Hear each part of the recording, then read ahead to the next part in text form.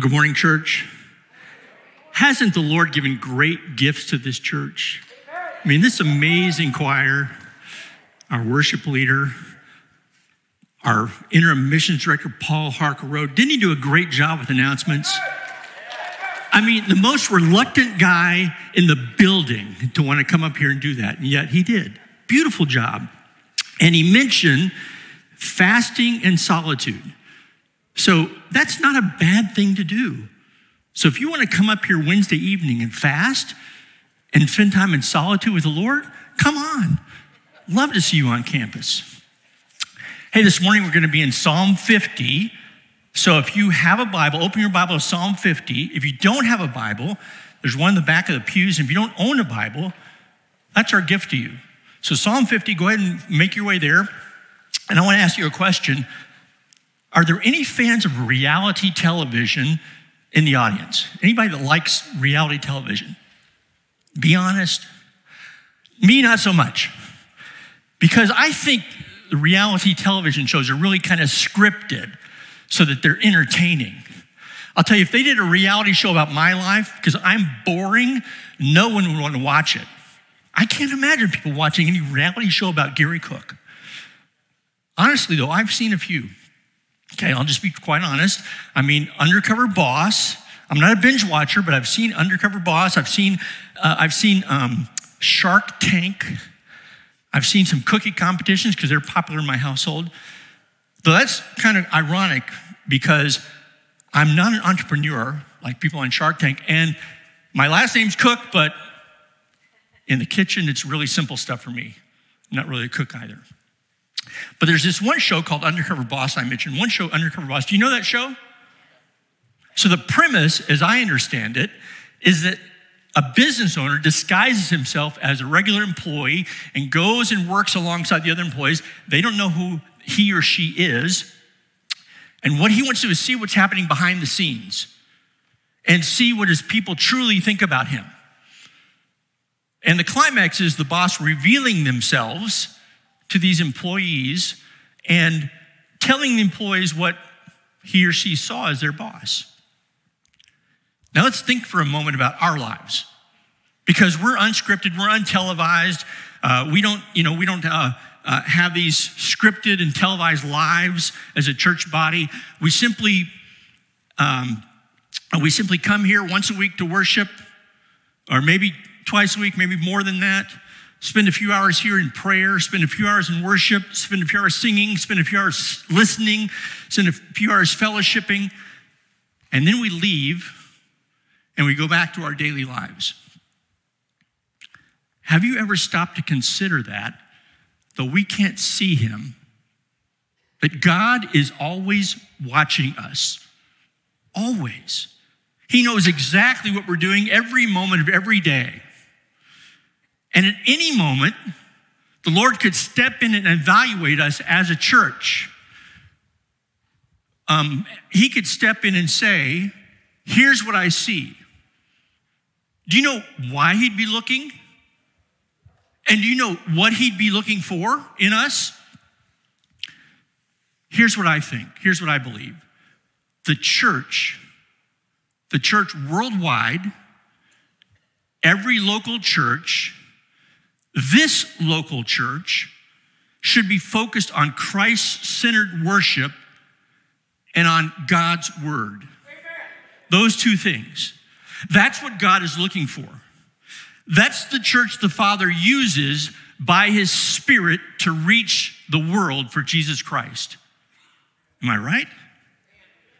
Well, Psalm 50 describes a particular time where God is looking at his church. And he's not just watching, not just inspecting, but in Psalm 50, he's judging his people.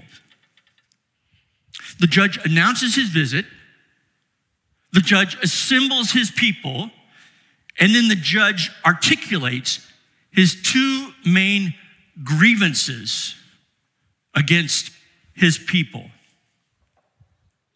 Stand up. Everybody stand up. And we're going to hear the word of the Lord in Psalm 50. It's a psalm of Asaph, the mighty one. God the Lord has spoken and summoned the earth from the rising of the sun to its setting. Out of Zion, the perfection of beauty, God has shown forth. May our God come and not be silent. Fire devours him, and a storm is violently raging around him. He summons the heavens above and the earth to judge his people. Gather my godly ones to me, those who have made a covenant with me by sacrifice. And the heavens declare his righteousness, for God himself is judge. Selah. Hear, O my people, and I will speak. O Israel, I will testify against you. I am God, your God. I do not reprove you for your sacrifices, and your burnt offerings are continually before me. I shall take no young bull out of your house, nor male goats out of your folds.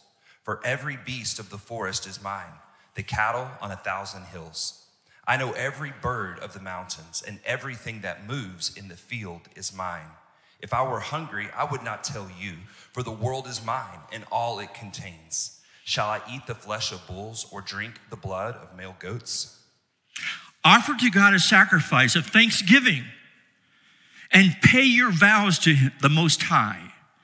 Call upon me in a day of trouble, and I shall rescue you, and you will honor me. But to the wicked, God says, What right do you have to tell of my statutes and to take my covenant in your mouth? For you yourself hate discipline, and you throw my words behind you. When you see a thief, you become friends with him, and you associate with adulterers. You let your mouth loose in evil, and your tongue harnesses deceit. You sit and speak against your brother. You slander your own mother's son. These things you have done, and I kept silent. You thought that I was just like you. I will rebuke you and present the case before your eyes.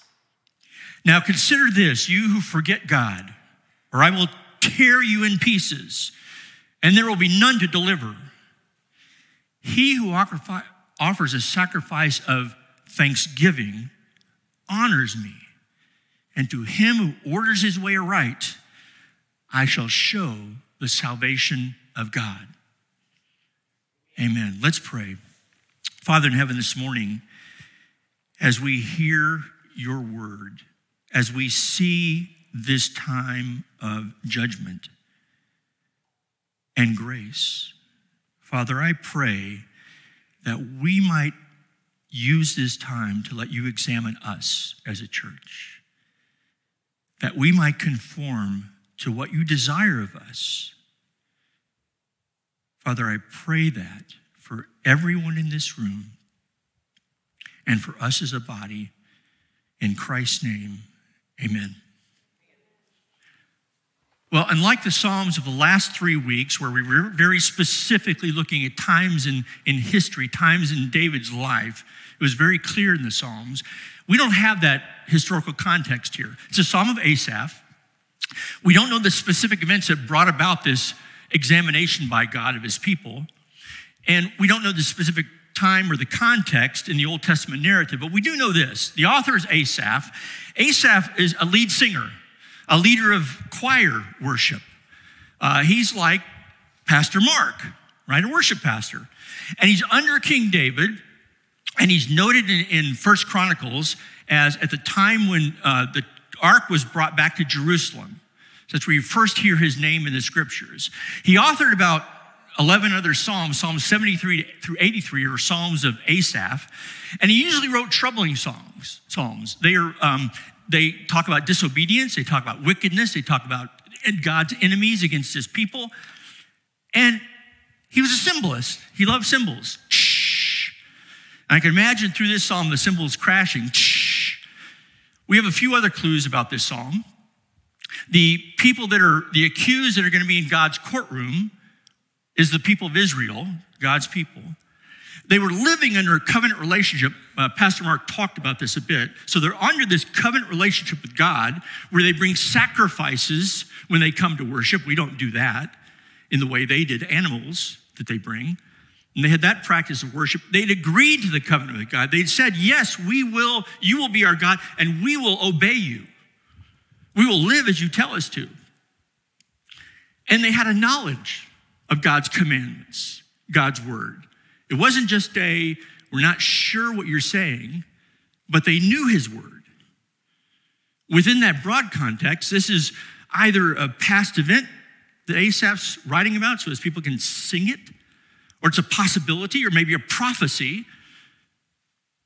But it gives a chilling description of this visit by God as judge.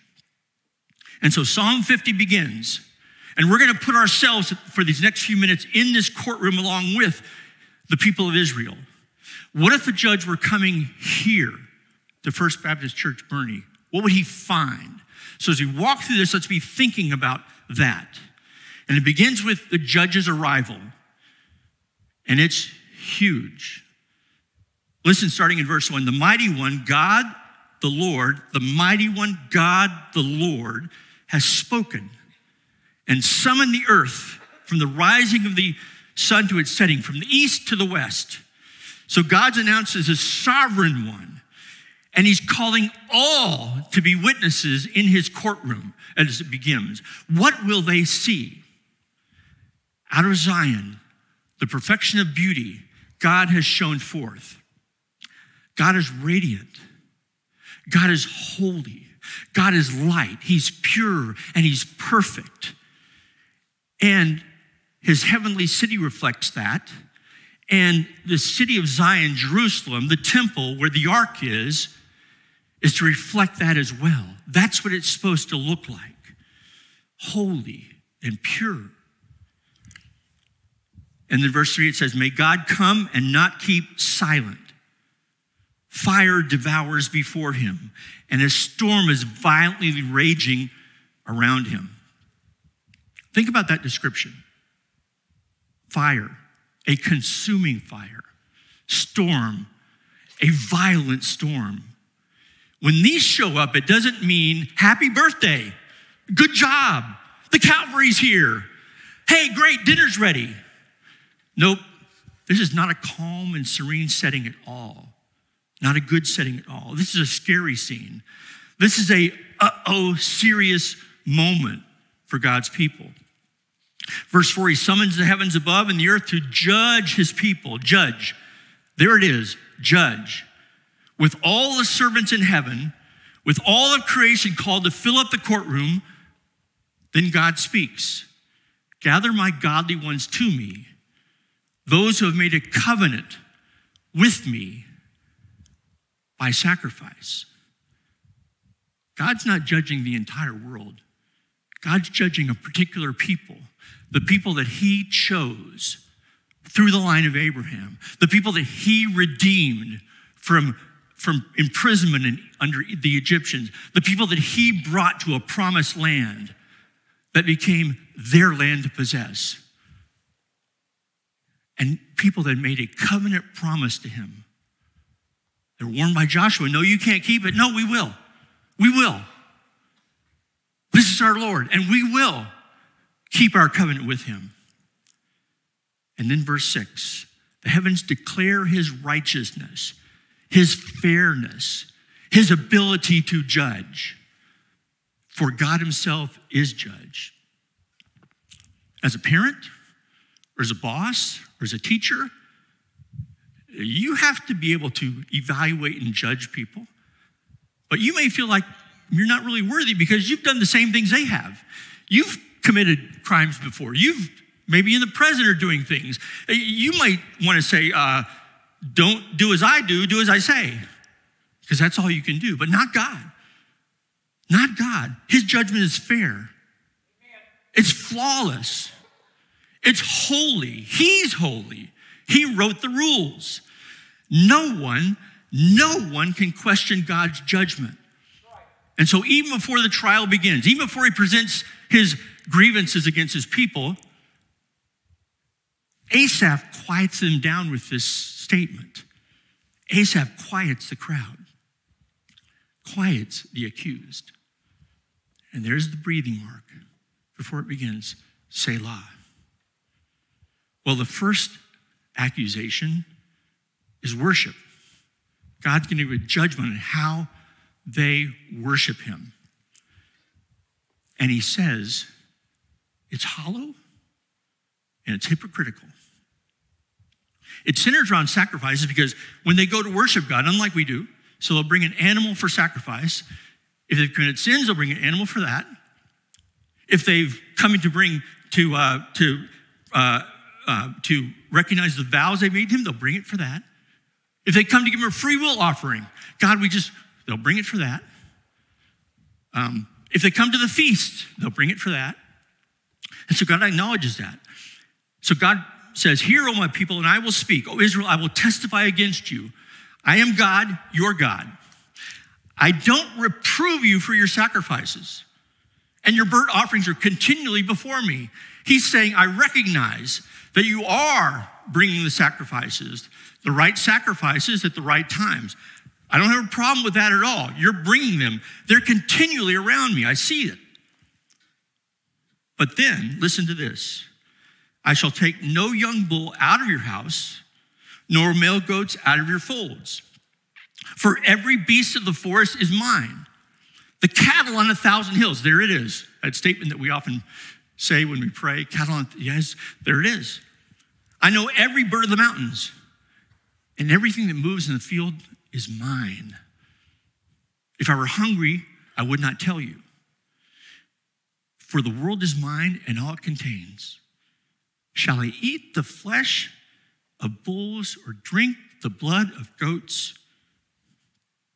What he's saying is the people of Israel are confused about their relationship with him. Even though they're bringing these sacrifices, he says, I don't need them. Does God need the animals that are being sacrificed to him? Nope. I'm not coming after your flocks. I own everything, even your flocks. I'm not hungry, waiting for you to bring something to me. What really happened, what his accusation is, is that the people of Israel have forgotten, or they've gotten, let's let me say it nicely, they've gotten confused about their relationship with God. They made it transactional. I bring you something and you do something for me. We bring a sacrifice to you, God, and you make me prosperous, just like you promised. We bring a sacrifice to you, God, and you take care of our problems, our health, our crops, our enemies, because this is our land. And you are the God that serves us. So we've, or I've brought you something. Now do things the way that we or I want them or need them to be done. That's how Israel's thinking about worship to God. It's really the other way around. In his kindness, the judge, the mighty God, reminds him of what the relationship is supposed to be. Listen to the verdict. Here's verse 14 Offer to God a sacrifice of thanksgiving. That word is todah. I'll explain that in just a minute. And pay your vows to the Most High.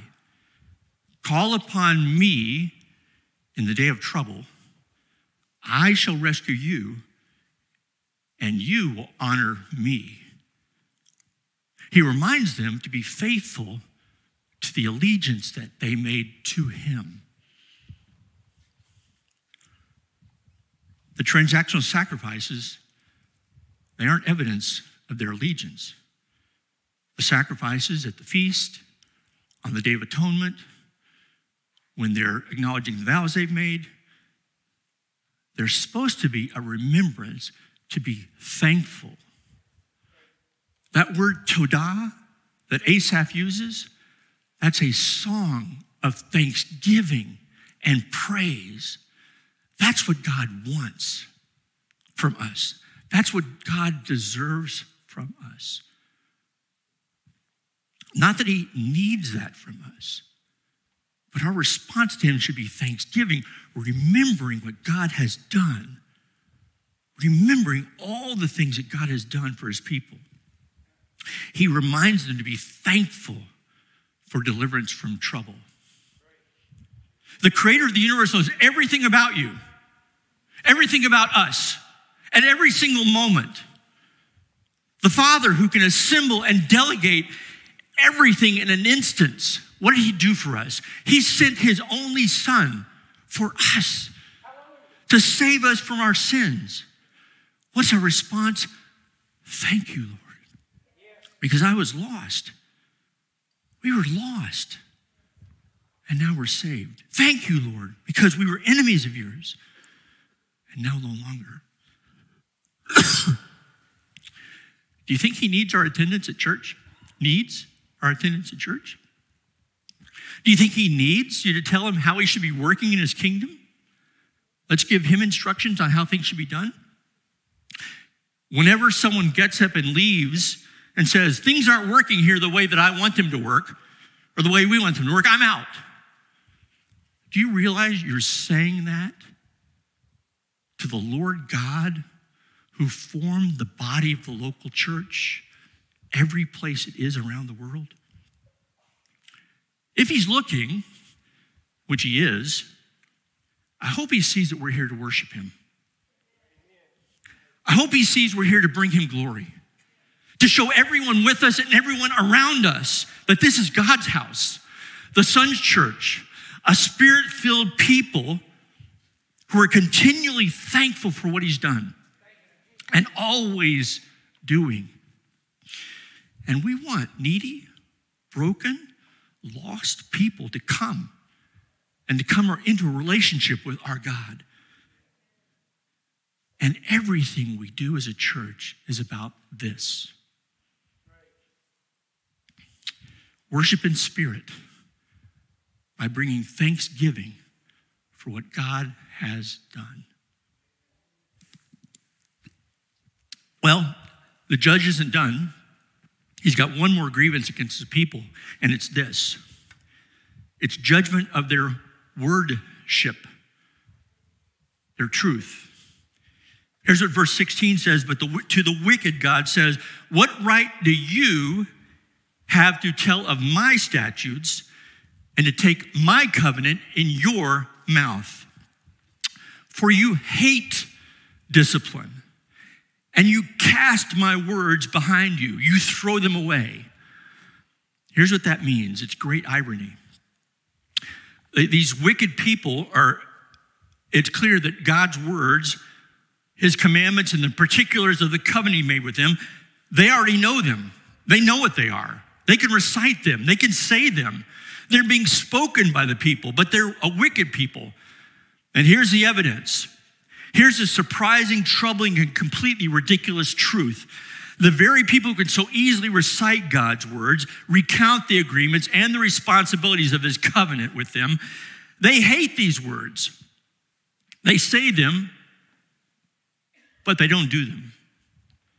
So now, having judged Israel for its hollow and hypocritical worship, he judged them for their hollow and hypocritical Bible knowledge. Isn't that ironic? Here's the evidence. When you see a thief, you're pleased with him and you associate with adulterers, stealing, and adultery. They know it's against God's law, but they do it. You let your mouth loose in evil and your tongues frame deceit. You sit and speak against your brother. You slander your own mother's son speaking evil words, tricking people with words for your own gain, slandering others. Even your own mother's son, you hate him. You're disintegrating the house and the household of God by your words. Is that in the Bible? Is that what the Bible tells us to do? Absolutely not. The Lord says, These things you have done, and I kept silent. You thought I was just like you because you're doing these things and I didn't say anything. You're doing these things and I didn't bring it to your attention. You think that God doesn't notice. You think He's not watching. You think God allows this behavior. You think God permits you to do exactly what He doesn't say in His Word. His Word's really not true. I will reprove you and state the case in order before your eyes. Church, this is a very sobering thought for those who preach the word, for those who teach the word, for those who hear the word, in the worshiping fellowship, in growth groups, in Bible study, or in other gatherings, and even in your home where the word is there. This psalm from God's word, from the mighty Lord God, our Redeemer, asks us this very question You may know my words, but do you believe them? Because if you believe them, you'd be doing them. The verdict for disbelief in God's word is evidenced by how they live, by a living rejection of God's word. And the judgment, the verdict is very severe. Listen. And remember, God has been patient. His silence has been his patience. Verse 22 Now consider this, you who forget God, or I will tear you in pieces, and there will be none to deliver. If you cry out to me, I won't hear you.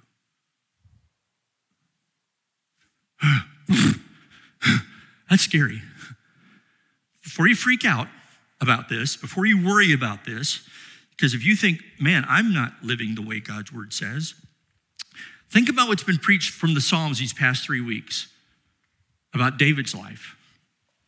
How David confessed his sin. David confronted with his sin, confessed it. There's a huge difference. See, we're still sinners. We still sin, don't we? But there's a huge difference between those who use the word and twist God's word for their own gain and their own deceit, those false teachers who only want profit from knowing God's word and preaching God's word and speaking God's word. And those who say, I'm saved, that's enough. I don't need anything else. I don't need to do anything else in my life. I'm already saved by Jesus Christ, and their ears are closed off. What do they need? They just simply need repentance. They need us to be alongside them. They need to be taught to hear from the Spirit. And then there's those who are sinners, saved by grace through faith, who know their own sin, desire not to sin and plea to God for help. So here's the other half of the verdict. In his kindness, the judge, the mighty God, reminds him of what a right and vital relationship with God is all about. Listen to the other half. It's good news. He who offers a sacrifice of thanksgiving, a song of thanksgiving for what God has done and who he is, Todah, honors me. And to him who orders his way aright, I shall show the salvation of God. I shall show my deliverance. What does the scripture say? If we confess our sins, he is faithful and just to forgive us our sins. He wants us to be righteous. We always have that opportunity to come to God and seek his help. And the big gift that he gave us is the Holy Spirit. Heeding the Holy Spirit when we read his word, heeding what the Holy Spirit says to us in his word, and knowing that the Holy Spirit is at work in the church to not only forgive us of our sins, but to transform us more and more into God honoring people. Isn't that right? He's talking to believers saved by grace to faith. He reminds us to be faithful through obedience to Him and thankful for His promise of deliverance. Thankful. If he's looking at us, which he is, I hope that we see that we are here to hear and live out his word. Didn't Jesus say that? Be just not hearers, but doers, right? To bring him glory in the teaching and our response to it. To show everyone with us and everyone around us that we are God's people, whatever we do and whatever we are, however we think and however we speak. To be God's house, the Son's church, a spirit filled people who are continually thankful for what God is doing in us, for what He's done, what He continues to do in us and through us.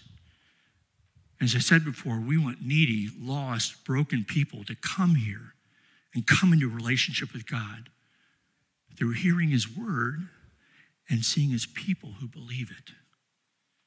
Everything we do is about this. Worship in truth. Be a faithful people to God's word. Be a faithful people to God's word. I'll say this again the church, the church worldwide, every local church, this local church should be focused on Christ centered worship and faithfulness to God's word.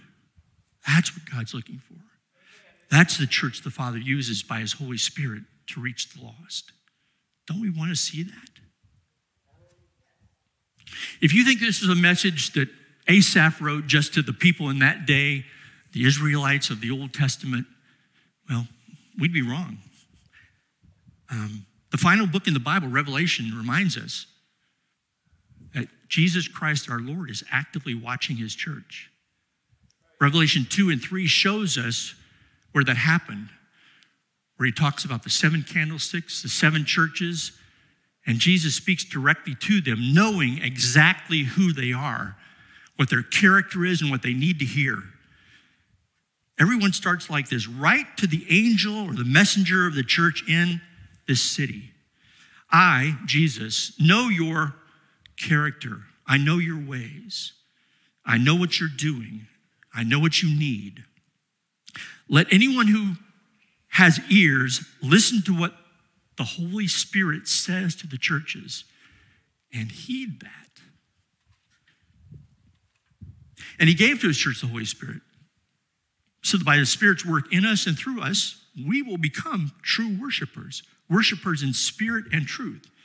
Jesus said this, and it's happened. An hour is coming, this is from John 4, and is now here, where true worshipers will worship the Father in spirit and in truth, with thanksgiving for what God is doing and with faithfulness to God's word. Yes, the Father wants such people to worship Him. God is spirit, and those who worship Him will worship in spirit and in truth.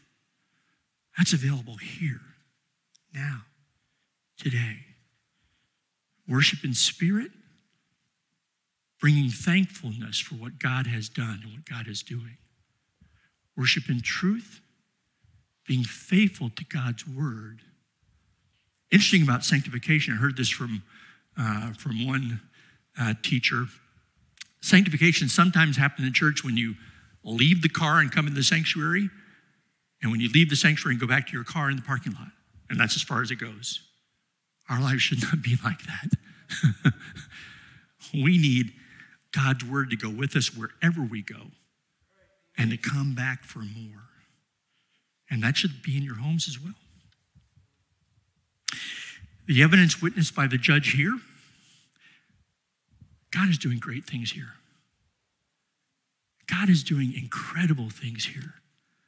God, grace and mercy are so evident here in this church if you just look and see.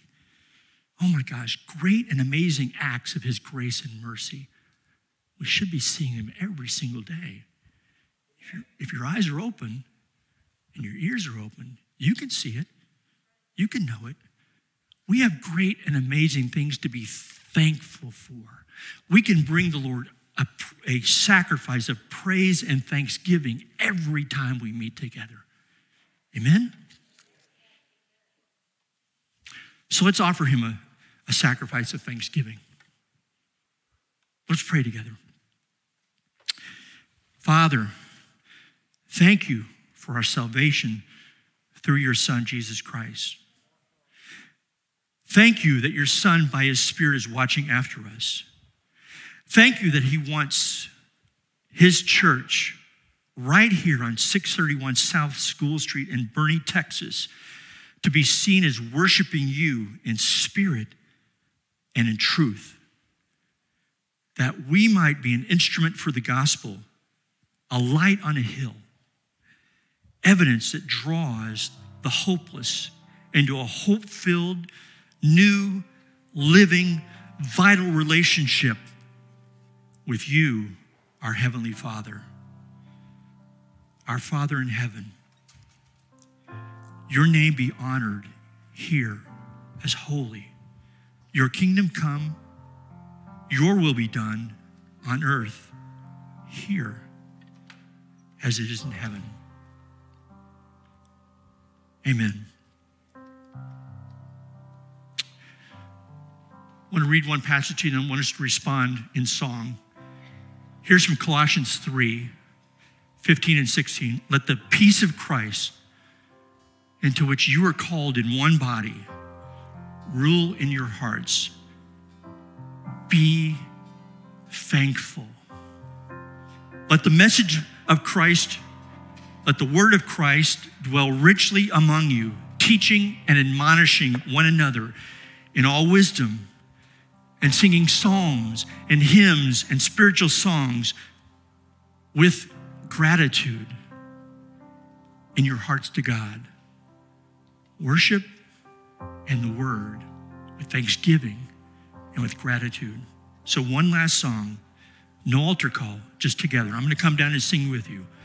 One last song. Let's sing this with gratitude.